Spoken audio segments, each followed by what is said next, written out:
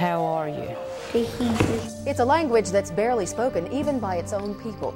A lifeline to their uh, ancestry. It began here and it's going to die here. Keeping the Cherokee language alive. Tonight at 5.